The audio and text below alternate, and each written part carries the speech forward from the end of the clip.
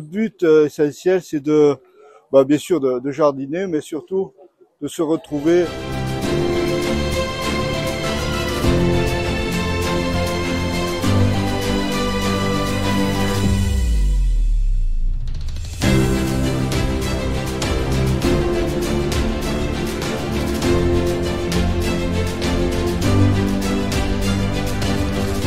c'est des moments de partage et on revient un peu à la nature avec les enfants, et les adultes, euh, etc.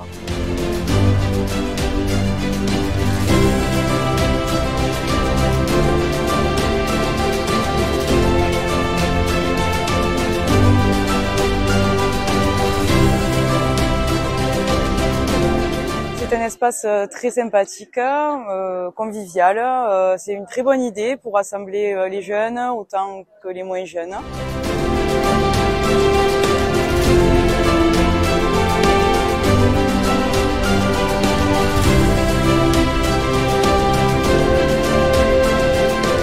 permet à tous les locataires euh, de se retrouver, sachant que dans les résidences, souvent, on ne discute pas ensemble. Et ça permet de parler avec des personnes euh, qu'on croise tous les jours.